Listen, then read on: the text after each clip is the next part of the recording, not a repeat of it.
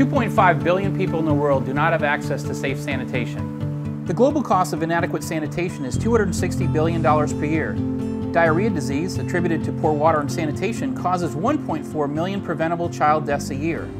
Biomass Controls and our partners introduced the newly designed portable biogenic processor, made in stainless steel and customized for human solid waste. It has a small footprint and doesn't need infrastructure. It can work completely off the grid, processing sludge of communities from day one, reducing pathogens, volume, and providing odor control. It is also designed for cold climates around minus 40 degrees centigrade. Let me walk you through the different parts of the portable processor. First of all, we have the wet end.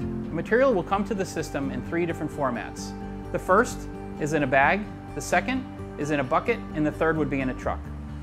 When using urine-diverted dry toilets, you simply open up on the wet end this door and drop in your material. The bag or the material then falls down into our chute and is pre-processed using a grinder. Under the grinder, air is pulled down through the wet end into a biochar-filled box for deodorizing before exhausting to ambient air beneath the container. The pre-processed material moves up the transport auger onto the dryer. The dryer belt moves very slowly, drying the material from 85% moisture to 35% moisture using the thermal energy from the biochar reactor.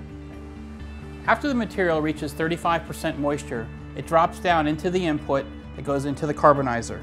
The pyrolysis auger along the top of the carbonizer allows the pre-processed material to be exposed to further heat and drying before delivering to the pyrolysis pot. Startup is ignited manually, but the controller takes over to slowly feed the startup fuel mixture into the pyrolysis pot. Once the pyrolysis process is complete, biochar is delivered to the box on the side of the reactor. A touchscreen allows the operator to interact with the system operation. Via the Kelvin app, the system can be monitored remotely. For more information about Biomass Control's portable processor, please visit our website at www.biomasscontrols.com. Thank you.